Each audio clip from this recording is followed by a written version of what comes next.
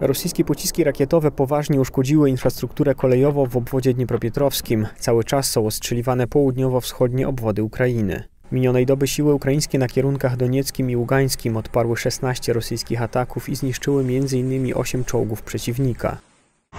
Rosyjska ofensywa w Donbasie to największa walka w Europie od II wojny światowej, napisał na Twitterze szef ukraińskiej dyplomacji Dmytro Kuleba, apelując do krajów partnerskich o szybsze dostawy broni i amunicji.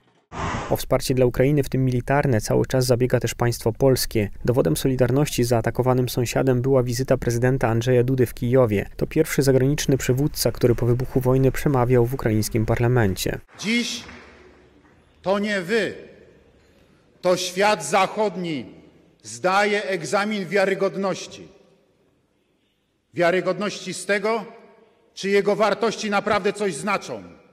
Jeżeli dla świętego spokoju, interesów gospodarczych czy politycznych ambicji zostanie poświęcona Ukraina, choćby centymetr jej terytorium i kawałek suwerenności, będzie to olbrzymi cios nie tylko dla ukraińskiego narodu, ale dla całej wspólnoty Zachodu. Nie mam co do tego żadnych wątpliwości. Prezydent Wołodymyr Zełański dziękował Polsce za wsparcie na arenie międzynarodowej i za pomoc obywatelom Ukrainy uciekającym przed wojną. Jak mówił, jedność naszych narodów powinna zostać niezmienna. Polska je Polska jest jednym z liderów nie tylko we wspieraniu naszego państwa, ale także obrony i przekonywania do sankcji niezbędnych do wymuszenia na Rosji pokoju. Zdecydowana większość Polaków popiera embargo na surowce energetyczne z Rosji. To tylko jeden z przejawów, ale jakże ważny, że tak samo widzimy polityczny kierunek w tej wojnie. Ukraińscy eksperci podkreślają, że wizyta prezydenta Andrzeja Dudy na Ukrainie miała bardzo mocny symboliczny, ale też praktyczny wymiar.